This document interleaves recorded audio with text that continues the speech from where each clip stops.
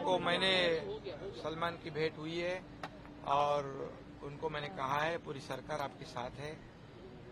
जब यह हादसा हुआ था, तब मैंने पुलिस कमिश्नर को तुरंत सुबह ही सूचना दी थी, जल्द से जल्द ये पुलिस कार्रवाई करे और इनको अरेस्ट करे। तो कल ही इनको भुज में से अरेस्ट हुआ है दोनों को, विकी गुप्ता और एक सागर पाल, जो चंपारण बिहार के हैं। उनकी पुलिस कस्टडी है अभी।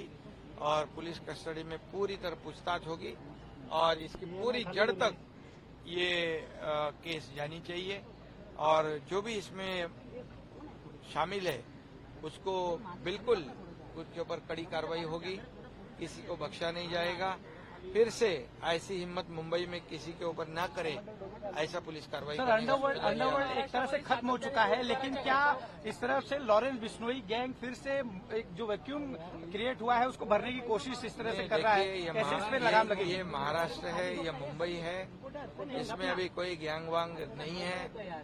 ये पूरा अंडरवर्ल्ड खत्म हो चुका है और ये बिश्नोई बिश्नोई को कोई भी खत्म कर देंगे हम लोग बिल्कुल।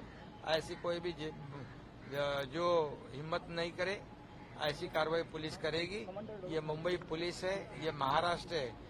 या किसी की दादागिरी हम चलने नहीं देंगे और किसी भी नागरिक को कोई भी तकलीफ़ देने का काम करेगा। ये सलमान तो एक हमारा बहुत बड़ा फ़िल्म इंडस्ट्री में बहुत ही पॉपुलर फेस है और उसके परिवार की ज़िम्मेदारी भी हमारी है, सरकार की है।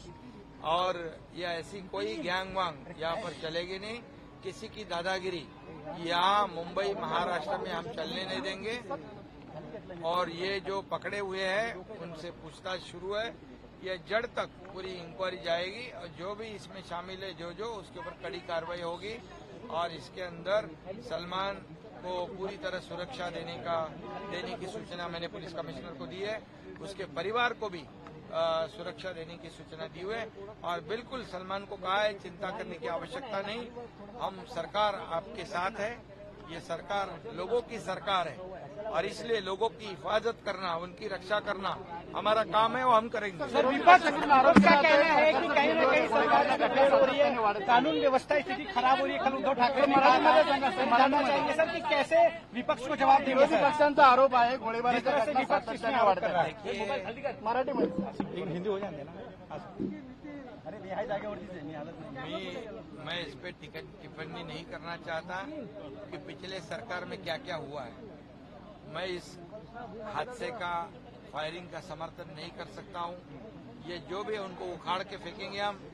जो भी गैंग इसमें आई है पूरी तरह जड़ से उखाड़ के फेंकने का काम हमारी पुलिस करेगी। और बिल्कुल ये विपक्ष के बारे में मैं निश्चित रूप से बताऊँगा। मिट्टी में मिला देंगे सर। उनको पूरी तरह ये उखाड़ के फेंक देंगे और उनको पूरी ज्ञान को मिट्टी में मिला देंगे। ऐसी हमारी पुलिस है और ऐसी हमारी सरकार है। यहाँ पर किसी ने भी हमारे महाराष्ट्र के मुंबई के जनता के खिलाफ आग उठाने की कोशिश की तो उसकी जगह उसको दिखा दी जाएगी। बस।